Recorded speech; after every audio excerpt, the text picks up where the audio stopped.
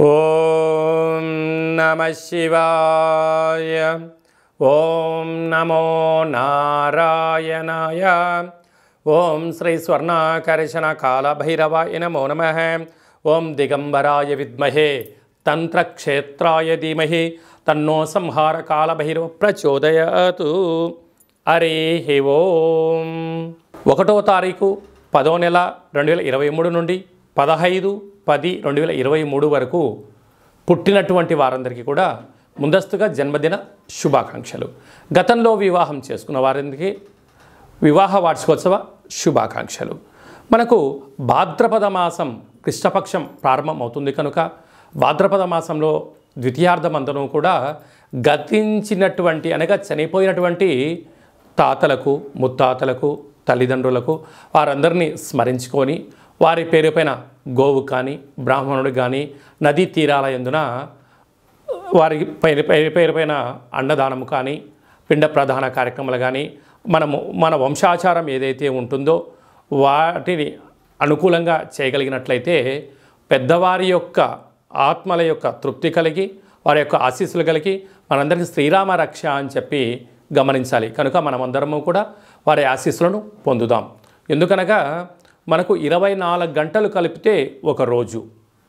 గతించినటువంటి వారందరికీ మూడు వందల అరవై రోజులు కలిపితే ఒకరోజు ఆ రోజు స్మరించి వారి పేరుపైన స్వయంపాక దానాన్ని కానీ అన్నదానాన్ని కానీ వస్త్రదానాన్ని కానీ దశదానాలు చేయడం వలన వారి యొక్క ఆశీస్సులు మనందరిపైన ఉంటాయని చెప్పి గమనించాలి.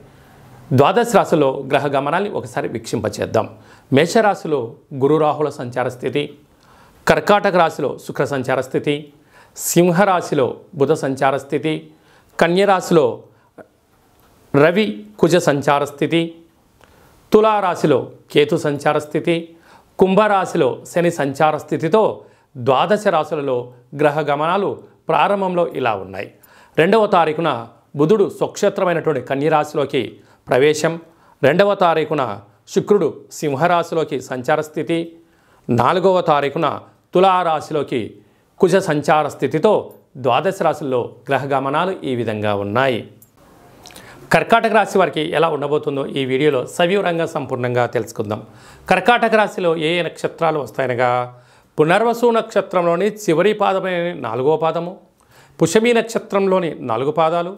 ఆశ్లేష నక్షత్రంలోని నాలుగు పాదాలు కలిపితే కర్కాటక రాశి. చాలామందికి పుట్టినటువంటి కాల సమయంలో డేటా బర్తులు లేనటువంటి ఏకైక కారణం చేత పేరు యొక్క మొదటి అక్షరాన్ని అనుసరిస్తూ ఆ రాశిని తెలుసుకునే ప్రయత్నం అవుతుంది. అవి ఏ అక్షరాలు ఒకసారి పరిశీలన చేద్దాం? హీ హూ హే హో డా డి డు డే డో. అక్షరాల వారందరూ కర్కాటక రాశి జాతకులే. కర్కాటక రాశి యొక్క అధిపతి చంద్రుడు.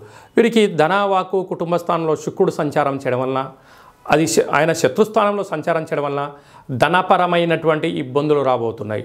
శుక్రుడు యోగకారకుడే కానీ ఎక్కడ నేను అప్పు తెచ్చుకోవాలి? ఎవరికి నేను అప్పు ఇ- ఇవ్వచ్చు ఇవ్వకూడదు? నేను వేటిపైన పెట్టుబడి పెట్టగలగాలి?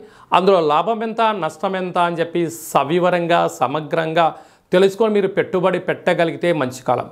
లేకపోతే కొంతకాలము మీరు పరిశీలించడానికి సమయాన్ని వెచ్చించినా తప్పు లేదు. అనవసరంగా తెలియనటువంటి వాటిలో మీరు పెట్టుబడులు పెట్టారా? సమయం ధనం వృధా కాకుండా రాబోయే కాలంలో అనేక ఆర్థిక రకమైనటువంటి ఇబ్బందులు పొంచి ఉన్నాయని చెప్పి గమనించాలి. తృతీయంలో రవి బుధ సంచార స్థితి ఉండడం వలన తల్లిదండ్రు తల్లి దగ్గర నుంచి కానీ తండ్రి దగ్గర నుంచి మీ వాళ్ళు ఎవరైనా గవర్నమెంట్ ఉద్యోగం చేస్తున్నట్లయితే అలాంటి ఉద్యోగ వంశపారంపర్యంగా రావాలి అనుకుంటున్న వాళ్ళు ఇలాంటి కాల సమయంలో ప్రయత్నం చేసినట్లయితే ప్రభుత్వ ఉద్యోగం రావడం పరీక్షలు రాయడం ఉత్తీర్ణత సాధించడం ప్రమోషన్స్ రావడం మీరు ఏ ప్రాంతానికైతే అనుకుంటున్నారో ట్రాన్స్ఫర్స్కు మంచి అవకాశాలు ఉన్నాయని చెప్పి గమనించాలి.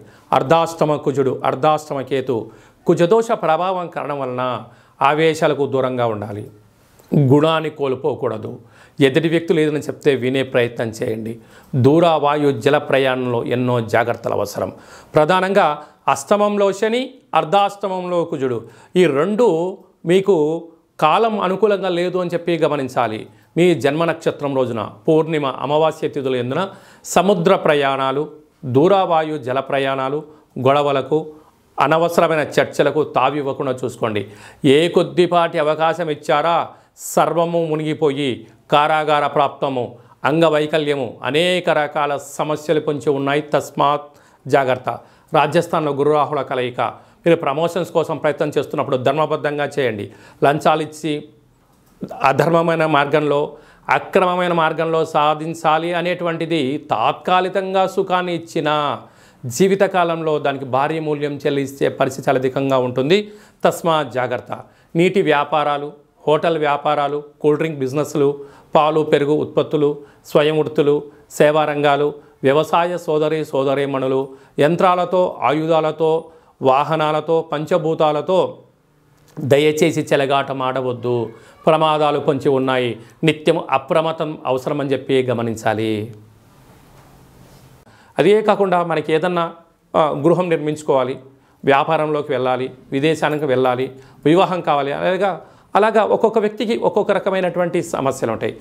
అలాంటి వారందరికీ కూడా మన యొక్క దేవాలయంలో కాళభైరవ సౌభాగ్యముడుపు అని చెప్పి కట్టడం జరుగుతుంది. కట్టి స్వామివారి యొక్క హోమంలో వేయించి మీకు ప్రసాదం కూడా పంపించడం జరుగుతుంటుంది. ముడుపు కట్టడం వలన కష్టాలకు స్వస్తి పలకడం ఐశ్వర్యానికి స్వాగతం పలకడం పలకాలి అని చెప్పి గమనించాలి. ఇది ఎలా కట్టాలో ఏం కట్టాలో కూడా ఈ కిందని మనం సంప్రదించినట్లయితే అపాయింట్మెంట్ తీసుకొని సంప్రదించగలిగినట్లయితే మీకు సవివరంగా సంపూర్ణంగా తెలియజేయడం జరుగుతుంది. అందరికీ కాళభైర స్వామికి ఆశీస్సులు ఉండాలని కోరుకుంటూ ఆశీర్వదించడం జరుగుతుంది.